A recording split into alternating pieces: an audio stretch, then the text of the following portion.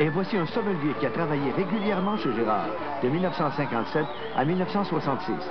Jean Lapointe.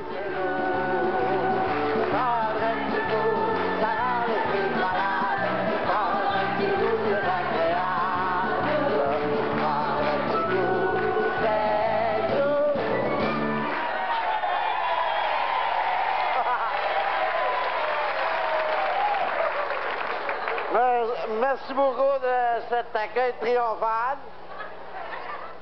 Euh, je ne sais pas ce que j'ai, mais je sais pas si c'est comme moi, mais moi, je suis de bonne humeur en ce qui est.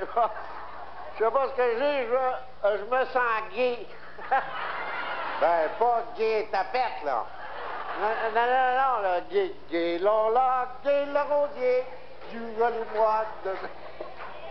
Quoi que des matins, je me réveille, je regarde ma femme, je me demande si j'aurais pas intérêt à être gay Alors, une autre raison qui fait que je suis de, de bonne humeur, c'est que j'arrive d'un séjour de six mois, toutes dépenses payées à Bordeaux. Alors, une minute, là, pas Bordeaux, ça ça Paul, là. Non, non, non, Bordeaux, Bourgogne, en France où je suis allé parfaire mon éducation dans l'ordre de dégustorgité, là. le meilleur produit de la vigne, ce merveilleux produit qu'est le vin. Étant moi-même un, joyeux raisin, j'aimerais me présenter mon, nom, c'est Grisé. Mon, mon prénom est Eddie. Il y a une chose importante, cependant, que je tiens à vous préciser. Saviez-vous que le vin, tout comme la femme, a une couleur? Oui, a une robe. Eh bien, des gens font l'erreur, pour voir la couleur du vin, d'essayer de voir à travers la robe. Ça, c'est une question d'étiquette. Vous ne pouvez pas voir la couleur ni la robe du vin à cause, pas l'étiquette, les manières. L'étiquette collée sur la bouteille, on voit rien. Donc, pour voir la robe, pour voir la couleur du vin, faut pas regarder à travers la robe, faut regarder sous la robe. Vous allez avoir des surprises. C'est de cette façon qu'on peut voir si un vin a bien voyagé. Et vous découvrirez. Lâchez les applaudissements, pognez-les, ça va aller plus vite. Et vous découvrirez de très grands crus. Pas d'intérêt à prononcer dans celle-là, Buvez du pinot, hein?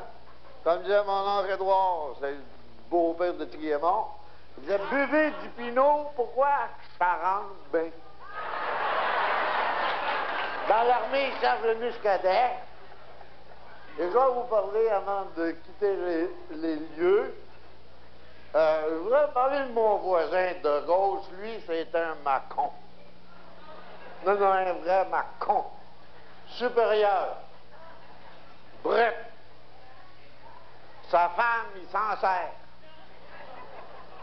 Celle-là, là, je sais qu'il y en a un maudit paquet qui l'ont pas poigné.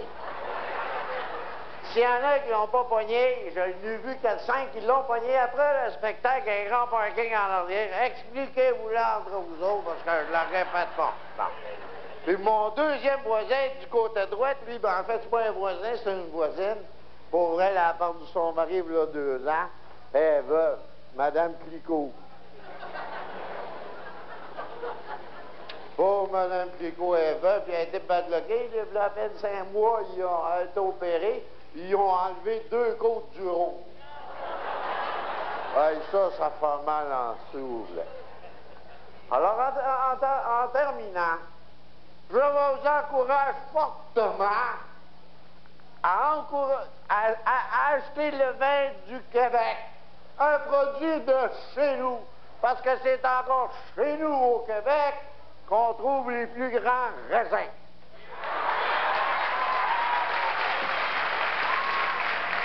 Ben, je vais en prendre une petite shot à ta santé, ma foi. Dites-vous bien une chose, mesdames, messieurs, tous les autres qui cherchent. Il y en a encore, hein? Je tiens à vous dire une chose, c'est l'essentiel de euh, ma contribution de ce soir. Sachez que c'est en prenant un verre à santé des autres que j'ai fucké la mienne. Bonsoir.